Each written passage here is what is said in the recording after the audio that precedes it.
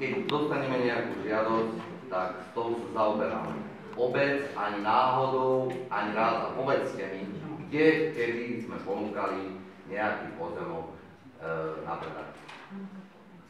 Povedzte mi kde, lebo tak tu prúdi informácia medzi ľudí, ako keby ja, starosta, teraz rýchlo chcem predať, lebo tak je to prezentované určitými ľuďmi, Dobre, hej, a, a predať.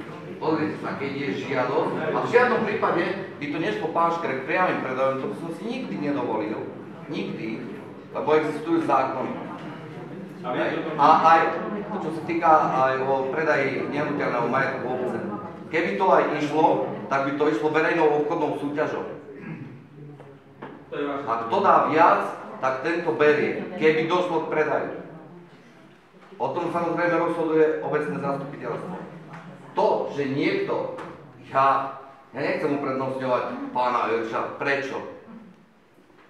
Dobrá, Prečo? prečo? No povedzte, pozrite sa ľudia. Však, Prečo? však- Ale on vyvíjal najväčšiu aktivitu, čiže má asi o to záujem. On nevyvíjal, ja som dva roky predtým vyvíjal aktivitu. A to ste nespomenuli. Áno, stretli sme sa, to nedementujem. No nevedel. Stretli, Bol stret, záujem, aby nevedel. stretli sme sa, vtedy ani náhodou, rozprávali sme sa o tom. Áno, boli sme hore v Kemi. Neposlal som e, zámer na na.